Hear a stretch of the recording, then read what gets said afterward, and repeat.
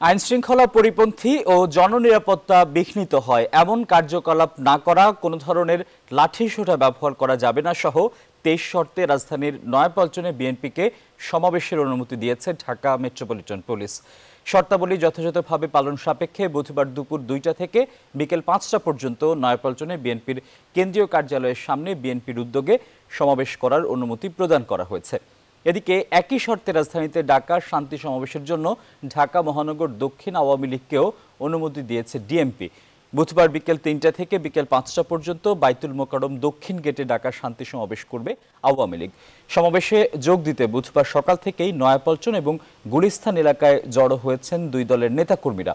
পুরো এলাকা জুড়ে আইনশৃঙ্খলা বাহিনীর সদস্যদের সতর্ক অবস্থান দেখা গেছে।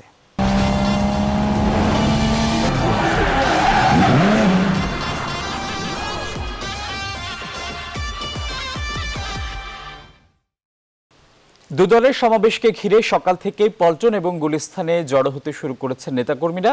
কিছুক্ষণ আগে পল্টন থেকে বিএনপির সমাবেশের খবর জানিয়েছেন আমাদের সহকর্মী মারুফা রহমান।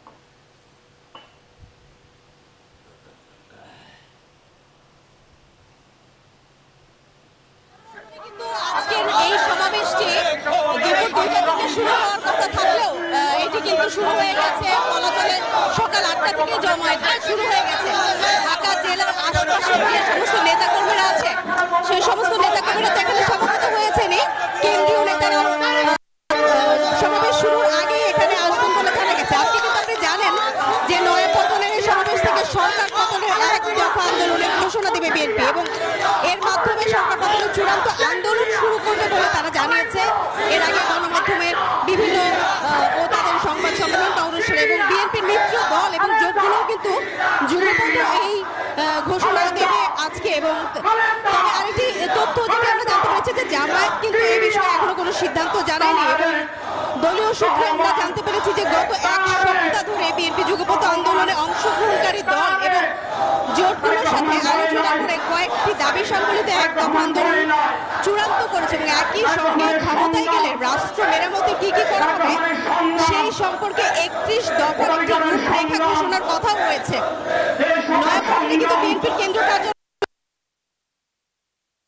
বিভিন্ন অঙ্গ সংগঠনের নেতারা সমবেত হয়েছে এবং আপনি জানেন যে ঢাকার বাইরে থেকেও কিন্তু গতকাল রাতে বিএনপির নেতা কর্মীরা অনেকে এখানে উপস্থিত হয়েছেন এবং তারা বেলা বাড়ার সাথে সাথে আরও সেই সংখ্যাটা বাড়বে এবং তারা বলছেন এটি একটি সমাবেশে তারা রূপ দিতে চায়। একই সাথে বিএনপির যারা নীতি নির্ধারণী ফোরামের নেতারা আছেন, তারা